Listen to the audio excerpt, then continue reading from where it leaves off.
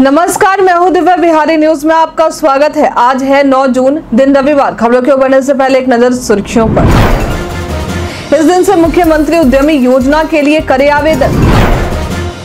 NEET परीक्षा पर IMA के जूनियर डॉक्टर विंक ने उठाए सवाल। बिहार में 10 से 16 जून तक विमेंस कबड्डी लीग का होगा आयोजन। आज पीएम पद के लिए नरेंद्र मोदी लेंगे शपथ। जाने समारोह का कार्यक्रम। फास्ट टैग काम नहीं करने पर अब टोल टैक्स चुकाने में नहीं होगी परेशानी। आज भारत और पाकिस्तान के बीच टी ट्वेंटी वर्ल्ड कप का महामुकाबला। अब चले बढ़ते हैं अब तक के 25 बड़ी खबरों की ओर विस्तार से। स्टेट बैंक ऑफ़ इंडिया ने ट्रेड फाइनेंस ऑफिसर के पदों पर निकाली भर्ती। स्टेट बैंक ऑफ़ इंडिया ने ट्रेड फाइनेंस ऑफिसर के पदों पर भर्ती निकाली है। आवेदन करने की अंतिम तारीख 27 जून है। इच्छुक उम्मीदवार इसके आधिकारिक वेबसाइट sbi.co.in पर जाकर आवेदन कर सकते हैं। ये भर्ती कुल 150 पदों पर की जाएँगी। इस भर्ती के लिए उम्मीदवारों की उम्र 23 से 32 साल के बीच में होनी चाहिए। इन पदों पर आवेदन करने के लिए आपको सात सौ पचास रुपए देने होंगे। आरक्षित उम्मीदवारों को उसमें छूट मिलेगी। भर्ती से संबंधित सटीक और अधिक जानकारी के लिए आप इसके आधिकारिक वेबसाइट अधिसूचना को देख सकते हैं। इस दिन से मुख्यमंत्री उद्यमी योजना के लिए करे आवेदन। मुख्यमंत्री उद्यमी योजना 2024 के बिहार सरकार के उद्योग विभाग द्वारा घोषणा की जा चुकी है। एक जुलाई से इसके लिए आवेदन शुरू होने वाले हैं। ऑनलाइन आवेदन की ये प्रक्रिया 31 जुलाई तक चलेगी। इसकी जानकारी अपर विभाग के मुख्य सचिव संदीप पौंड्रिक ने दी है। इस योजना का लाभ उठाने के लिए इच्छुक लोगों का चयन अनुसूचित जाति, जनजाति उद्यमी योजना, अति पिछड़ा वर्ग उद्यमी योजना, महिला उद्यमी योजना, युवा उद्यमी योजना और अल्पसंख्यक उद्यमी योजना के तहत होगा। इस योजना के तहत आपको 10 लाख रुपए दिए जाएँगे, जिसमें 50 फ़ीसदी अनुदान और 50 फ़ीसदी ब्याज रहित ऋण होगा। इसका लाभ उठाने के लिए ज़रूरी है कि आपकी उम्र 18 से 50 वर्ष के बीच में हो और आप बिहार के अस्थायी निवासी हो। बिहार वासियों के लिए आईआरसीटीसी लेकर आया है शिरडी और ज्योतिर्लिंग यात्रा का टूर पैकेज आईआरसीटीसी लोगों को समय समय पर टूर पैकेज देती रहती है। एक बार फिर से बिहार के लोगों के लिए आईआरसीटी टूर पैकेज लेकर आई है। कि टूर पैकेज शिरडी और ज्योतिर्लिंग यात्रा के पैकेज के साथ ही लेह लद्दाख का भी पैकेज लेकर आया है। इस पैकेज के तहत लोगों को भारत ट्रेन गौरव के ज़रिए उज्जैन, सोमनाथ, द्वारिका, शिरडी और नासिक घुमाया जाएगा। आईआरसीटीसी के क्षेत्रीय महाप्रबंधक राजेश कुमार ने कहा है कि भारत गौरव पर्यटन ट्रेन से शिरडी और ज्योतिर्लिंग यात्रा करने वाले लोगों के लिए ये पैकेज 10 से 11 दिन का है। तीर्थ यात्रियों को ट्रेन में सवार होने के लिए ये ट्रेन नौ जुलाई को बेतिया स्टेशन से खुलेगी, जो सुगौली, रक्सौल, सीतामढ़ी, दरभंगा, समस्तीपुर, मुजफ्फरपुर जंक्शन, पाटलिपुत्र, आरा, बक्सर दीनदयाल उपाध्याय स्टेशनों पर रुकेगी। उसके बाद इन्हीं स्टेशनों पर रुकते हुए 19 जुलाई को वापस लौटेगी। इस पैकेज को बुक करने के लिए आपको आईआरसीटीसी की वेबसाइट पर जाना होगा। इस पैकेज का code E Z B G one seven है। इस टूर पैकेज से संबंधित सटीक और अधिक जानकारी के लिए आप आठ पाँच नौ पाँच नौ तीन सात सात तीन एक पर संपर्क कर सकते हैं। गया की ऑफिसर्स ट्रेनिंग एकेडमी में 25वीं पासिंग आउट परेड का हुआ आयोजन। शनिवार को गया में 25वीं पासिंग आउट परेड का आयोजन ऑफिसर्स ट्रेनिंग एकेडमी में देखने को मिला। उप सेना प्रमुख उपेंद्र द्विवेदी ने पासिंग आउट परेड की सलामी ली। आज से 118 gentleman cadets Gaya officer training academy में कड़ी ट्रेनिंग लेने के बाद सैन्य ऑफिसर बनने वाले हैं। ये 118 जेंटलमैन कैडेट्स देश के सैन्य अफसर होंगे और देश के अलग अलग हिस्सों में एक अधिकारी के रूप में भी अपना योगदान देंगे। प्रदेश के तीन पंचायतों के बिरानवे वार्डो में सोलर लाइट लगाने की है तैयारी। ये सोलर लाइट लग, ये सोलर लाइट लगाने के लिए कुल तीन हज़ार नब्बे करोड़ रुपए खर्च किए जाएँगे। आपको बता दें कि अब तक आठ हज़ार पंचायतों में से चार हज़ार एक सौ छब्बीस पंचायतों के सोलह हज़ार तीन सौ संतानवे वार्डो में स्ट्रीट लाइट लगाए जा चुके हैं। इन वार्डो में अब तक कुल एक दशमलव छह छह लाख स्ट्रीट लाइट लगे। इस संबंध में पंचायती राज मंत्री केदार प्रसाद गुप्ता, अपर मुख्य सचिव मिहिर कुमार सिंह और निदेशक हिमांशु कुमार राय ने कहा है कि सभी आठ पंचायतों के सभी एक लाख नौ हज़ार तीन सौ इक्कीस वार्डो में दस दस सोलर लाइट, स्ट्रीट लाइट लगनी है। कि आपके वार्ड में सोलर लाइट लगी है? हमें कमेंट में लिखकर ज़रूर बताएँ। बिहार में बंगाल और यूपी से आ रहा प्रदूषण। बिहार में प्रदूषण की समस्या अब धीरे धीरे गहराती ही जा रही है। हवा की गुणवत्ता खराब होने के कारण लोगों पर इसका बड़ा असर पड़ रहा है। अब इसी को लेकर हीट वेव और बढ़ते प्रदूषण के बारे में collective for climate in Bihar में अध्ययन किया गया, जहाँ पता चला कि बिहार में सबसे ज़्यादा प्रदूषण बंगाल और यूपी से आ रहे हैं। अब इस अध्ययन के बाद बिहार प्रदूषण नियंत्रण बोर्ड के प्रदूषण विशेषज्ञ की प्रतिक्रिया सामने आई है। उन्होंने कहा है कि बिहार में यूपी से उत्तरी दिशा से आने वाली हवा और पश्चिम बंगाल से आने वाली पूर्वा हवा भारी मात्रा में सूक्ष्म कण साथ लेकर बिहार में आती है। इन दोनों हवाओं में टकराव होता है, जिससे बिहार प्रदूषण हवाओं का रिसीविंग स्टेशन बन जाता है। वायु प्रदूषण में इसका योगदान बाईस फ़ीसदी है। फास्टैग काम नहीं करने पर अब टोल टैक्स चुकाने में नहीं होगी परेशानी। फास्टैग काम नहीं करने पर अब टोल टैक्स चुकाने में नहीं होगी परेशानी। जब भी हम किसी चार पहिया वाहन से टोल प्लाजा से गुजरते हैं तो हमें इसके लिए तो हमें इसके लिए टैक्स देना पड़ता है। टोल टैक्स को सरल बनाने के लिए फास्टैग आ गया है, ताकि आसानी से हम टोल टैक्स जमा कर पाए। अब इसी कड़ी में एन हमारे लिए एक और सुविधा लेकर आई है, ताकि हाईवे पर सफ़र को और आसान और सुविधाजनक बनाया जा सके। दरअसल, फास्ट से टोल प्लाजा पर होने वाले पेमेंट को पहले से और आसान बनाने के लिए टोल प्लाजा पर आईटी सिस्टम और हार्डवेयर में बदलाव किया गया है। अब नए नियम के अनुसार टोल प्लाजा पर उसी कंपनी के उपकरण का इस्तेमाल किया जा सकेगा।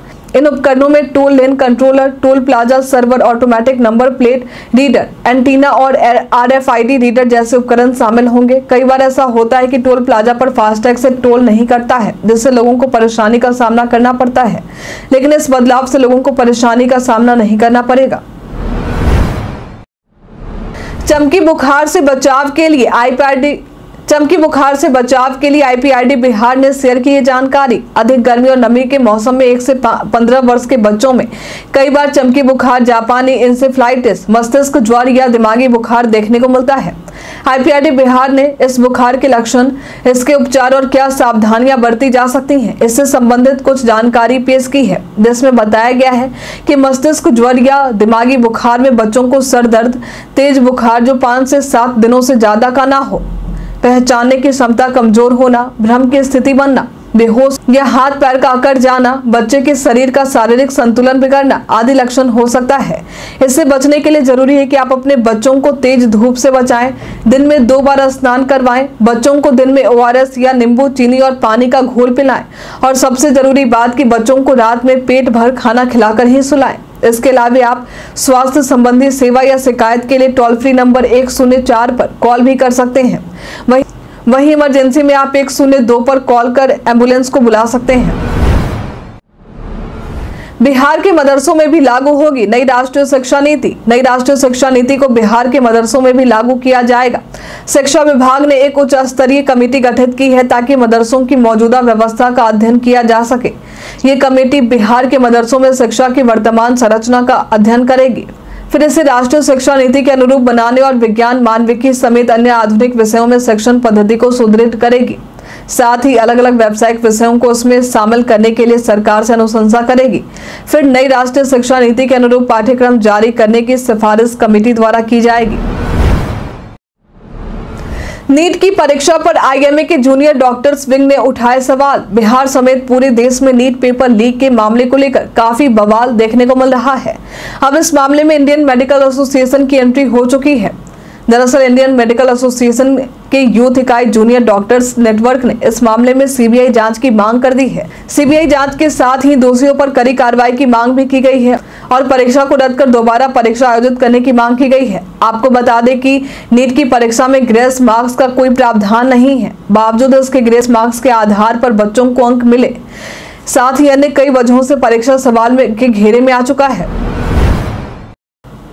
मखाना उत्पादन पर राज्यपाल आलेकर ने कही ये बात बिहार के राज्यपाल राजेंद्र विश्वनाथ आलेकर ने बिहार कृषि विश्वविद्यालय सबौर के अंतर्गत भोला पासवान शास्त्री कृषि महाविद्यालय पूर्णिया में तीन दिवसीय राष्ट्रीय सम्मेलन के उद्घाटन सत्र में राजभवन पटना से वीडियो कॉन्फ्रेंसिंग के ज़रिए भाग लिया। इस कार्यक्रम में विषय मखाना जल कृषि के साथ जल जमाव, पारिस्थितिकी तंत्र का उपयोग चुनौतियाँ एवं रणनीतियाँ रही। इस दौरान उन्होंने कहा कि मखाना उत्पादन के क्षेत्र में किए जा रहे अनुसंधान का लाभ कृषकों को मिलना चाहिए, ताकि उत्पादकता में वृद्धि हो सके।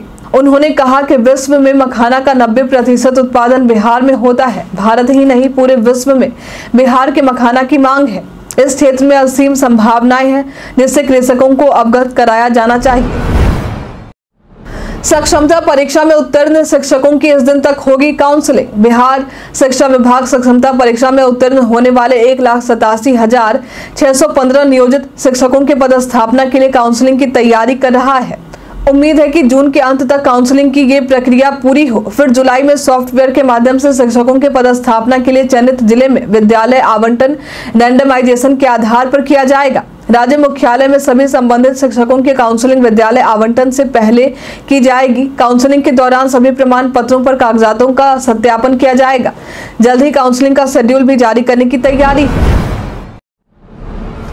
बिहार में 10 से 16 जून तक विमेंस कबड्डी लीग का होगा आयोजन। 10 से 16 जून तक राजधानी के पाटलिपुत्रा खेल परिसर में कबड्डी का आयोजन देखने को मिलेगा। उस खेल में बिहार के होनहार बेटियाँ अपना दम दिखाएँगी। इस लीग का नाम बिहार विमेंस कबड्डी लीग है। इस आयोजन के संबंध में बिहार राज्य खेल प्राधिकरण के महानिदेशक रविंद्रन शंकरन ने बताया है कि ट्रायल के बाद हम लोगों ने छह टीमें बनाई हैं, Magadh warriors, Patna pelican, Siwan titans Sitamarhi sentinels Nalanda Nizams और सारण स्ट्राइकर्स नाम की टीम इस दौरान एक दूसरे को मात देने की कोशिश करेंगी। हर टीम को बैलेंस्ड बनाया गया। हर टीम को एक लेडीज़ कोच सहित कोच और असिस्टेंट कोच उपलब्ध करवाए गए हैं। हमारा बच्चों को, खासकर लड़कियों को मैच खेलने का मौका नहीं मिलता है। इस कमज़ोरी की वजह से वे नेशनल लेवल पर खेलने में पिछड़ जाती हैं। इस लीग के माध्यम से ज़्यादा से ज़्यादा मैच खेलने का अनुभव होगा। बिहार की बच्चियों को ज़्यादा मैच खेलने का मौका मिलेगा। नेशनल लेवल पर मैच प्रेशर झेलने की आदत आएगी। जाने प्रदेश के मौसम का हाल। बिहार के दक्षिणी भाग में लगातार तेज गर्मी और लू को लेकर लोगों का घर से बाहर निकलना तक मुश्किल हो रहा है। वहीं प्रदेश के उत्तर भाग में कुछ जगहों पर हल्की छिटपुट बारिश देखने को मिल रही। प्रदेश में आज सुपौल, अररिया, किशनगंज, मधेपुरा, सहरसा, पूर्णिया और कटिहार में बारिश की संभावना जताई गई है। वहीं बांका, भागलपुर, जमुई, पूर्वी चंपारण, दक्षिणी भाग में किया दो स्थानों पर लू को लेकर ऑरेंज अलर्ट जारी किया गया है। प्रदेश में आज का अधिकतम तापमान चालीस से डिग्री और न्यूनतम तापमान 26 से 30 डिग्री देखने को मिल सकता है। पूर्णिया एयरपोर्ट को लेकर बड़ी खबर आई सामने। पूर्णिया एयरपोर्ट की मांग लंबे अरसे से की जा रही है। अब इसी बीच पूर्णिया एयरपोर्ट को लेकर एक बड़ी खबर सामने आई है। दरअसल एयरपोर्ट अथॉरिटी ऑफ़ इंडिया ने कहा है कि भूमि अधिग्रहण के बाद पूर्णिया एयरपोर्ट का विकास होगा। आपको बता दें कि संबंध में सामाजिक कार्यकर्ता विजय श्रीवास्तव ने आरटीआई से सवाल किया था। जिसके बाद 7 जून को उसका जवाब मिला है। आरटीआई ने जवाब देते हुए कहा है कि बिहार सरकार द्वारा भारतीय विमान पत्तन प्राधिकरण को पुणे एयरपोर्ट के लिए भूमि सौंपे जाने की प्रक्रिया प्रगति पर है। ज़मीन अधिग्रहण के बाद एयरपोर्ट के विकास की प्रक्रिया एयरपोर्ट अथॉरिटी ऑफ़ इंडिया द्वारा शुरू की जाएगी। बाबा साहेब भीमराव अंबेडकर यूनिवर्सिटी में एडमिशन के लिए शुरू हुई तैयारी। बाबा साहेब भीमराव अंबेडकर यूनिवर्सिटी में एडमिशन शुरू हो चुका है। एडमिशन के लिए चुने गए बच्चों की पहली सूची भी जारी की जा चुकी है। सूची जारी होने के पूर्वी चंपारण के जिलों के कॉलेजों में नामांकन की तैयारी शुरू हो चुकी है। नामांकन की ये प्रक्रिया छह जून से पंद्रह जून तक चलेगी। नामांकन में छात्र छात्रों को सी इंटर का अंक प्रमाण पत्र, आधार कार्ड की फ़ोटो और ऑनलाइन नामांकन का प्रिंट आउट जमा कराना होगा। सीबीएसई बोर्ड के छात्र छात्रों को माइग्रेशन भी देना होगा। जानिए किस वजह से मनरेगा में दो लाख से भी अधिक जॉब हुए हैं डिलीट नए वित्तीय वर्ष की शुरुआत हो चुकी है। नए वर्ष के शुरू होने के साथ ही बिहार में दो लाख संतावन हज़ार दो सौ पचास मनरेगा जॉब कार्ड डिलीट किए गए हैं। ये मनरेगा जॉब कार्ड क्यों डिलीट किए गए हैं? विभाग ने इसकी वजह भी बताई है। विभाग ने कहा है कि बहुत सारे लोग काम नहीं करना चाहते थे और जॉब कार्ड बनवा लिए थे। आधार कार्ड नहीं देने वालों को भी जॉब कार्ड डिलीट कर दिया गया है। कई लोगों ने तो दो दो जॉब कार्ड तक बनवा रखे थे। साथ ही बड़ी संख्या में जॉब कार्ड धारी पलायन भी कर रहे थे। कई जॉब कार्ड धारियों का तो निधन भी हो गया, इसलिए कई लोगों के मनरेगा जॉब कार्ड को डिलीट कर दिया गया है। वहीं यदि कोई अपनी अहर्ता पूरी करता है और कागजात देता है तो उनके डिलीट किए गए जॉब कार्ड को फिर से विचार किया जाता है। आज पीएम पद के लिए नरेंद्र मोदी लेंगे शपथ, जाने समारोह का कार्यक्रम। आज प्रधानमंत्री पद के लिए नरेंद्र मोदी शपथ ग्रहण लेने वाले हैं। शपथ ग्रहण समारोह आज शाम सात बजकर पंद्रह मिनट पर शुरू होगा। इस समारोह को लेकर सुरक्षा व्यवस्था दिल्ली में सख्त रखी गई है। समारोह में शामिल होने के लिए सात हज़ार लोगों को न्योता भेजा जा चुका है। शपथ ग्रहण समारोह में कई देशों के राष्ट्राध्यक्ष शामिल होने वाले हैं। आज के दिन दिल्ली को नो फ्लाइंग जोन घोषित किया गया है, साथ ही दिल्ली को छावनी में तब्दील कर दिया गया है। 9 से 10 जून तक दिल्ली में धारा एक सौ चौवालीस लागू रहने वाली है। नीतीश को विपक्ष की तरफ़ से पीएम पद का ऑफ़र मिलने के दावे पर कांग्रेस का बयान।